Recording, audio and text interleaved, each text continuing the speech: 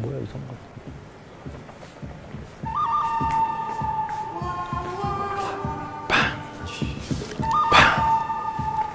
우리 우리 이렇게 딱 이런 지금 사람 없을 때 그래서 우리 혹시나 우리가 결승에 진출할 걸 대비해서 여기, 여기. 좀컷좀 따놓자. 여기 여기.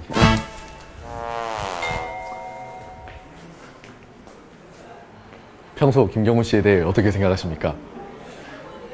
아, 참 모자란 형이지만 저는 경문 형이 이 자리까지 올 거라는 걸 믿어 의심치 않았고 정말 경문 형과 함께 이 자리에 설 수 있다는 게 너무 행복합니다. 평소 오현민 플레이어에 대해 어떻게 생각하십니까?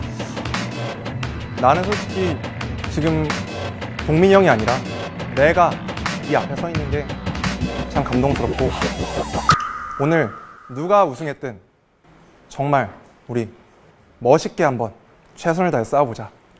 좋습니다. 누가 우승을 하든 서로 오빠 2라운드 때 지금- 카드 몇장 나왔죠? 아 비켜 결, 결승 결승전 결승 컸다고 예행 하고 했잖아. 있어. 우리 3인 결승했어.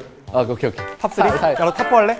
4인 4인 4인 4인 결승이요. 넌 거기 하면 안 나와 일로 형도 카메라 일로 해나 우리 이렇게 해서 우리 오빠도 오빠도 좀더 돌아.